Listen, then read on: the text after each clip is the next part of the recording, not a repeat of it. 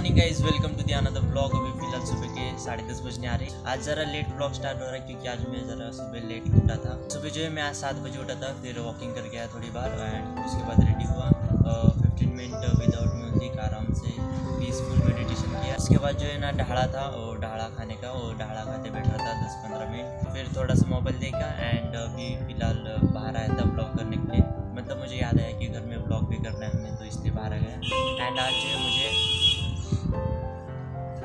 कल जो है ना पूजा ने मुझे क्वेश्चन पेपर का जेरोक्स निकल के देता मतलब कल के पेपर का health and physical health and physical education paper का एक क्वेश्चन पेपर का जेरोक्स निकल के दिया था आज जो है वो मुझे सॉल्व करना है एंड उसकी पढ़ाई भी करनी है एंड पढ़ाई करनी है।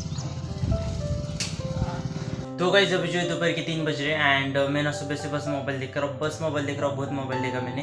एंड पापा मैं जो है बारह बजे के आसपास uh, हॉस्पिटल को गए थे।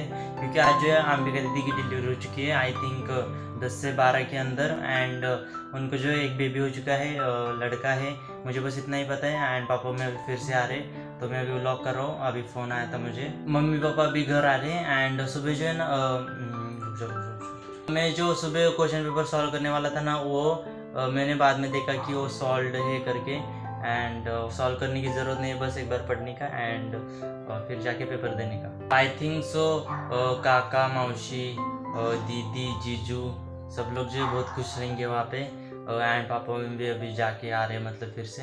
तो अभी जो कुछ काम है मैं पापा में पापा ने बताया अभी वो करने वाला हूँ।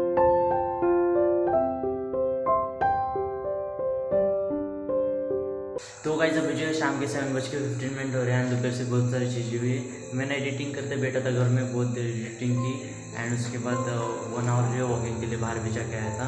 एंड घर आने के बाद जो फिर से मम्मी ने मुझे भेज दिया बीपी की गोली की, गोली खाने के लिए पापा की। एंड फिर मैं मेडिकल गया था बाइक लेके।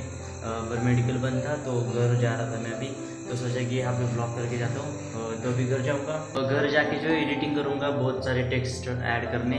फिर पापा मम्मी के साथ खाना खाऊँगा। जाऊँगा, फिर थोड़ी सी पढ़ाई या फिर कुछ तो करके सो जाऊँगा। मतलब कल का पेपर है ना तो मुझे वो क्वेश्चन आंसर्स पढ़ने। एक दो बार वो क्वेश्चन बैंक क्या बोलते जो जेरोक्स निकल के दिया ना, वो पढ़ूँगा। एक दो बार मतलब एक ही पेज है, बस उतना ही पढ़ना है तो वो पढ़ूँगा एंड फिर रात को। ब्लॉग अपलोड करके सो जाऊँगा। तो मिलते कल। Good night bye guys you tomorrow good night bye तो today ten January twenty twenty four it was a very happy day to Ambika didi jijaji kaka mavshi and sisters and my mummy all family सब लोग खुश थे क्योंकि आज जो है हमारे फैमिली में और एक जन ऐड हो चुका है। uh, उसका नाम है वो अभी तक मुझे कुछ पता नहीं पर uh, सब लोग बहुत हैप्पी थे एंड बस हो गए कुछ। सी यू गाइड्स बाय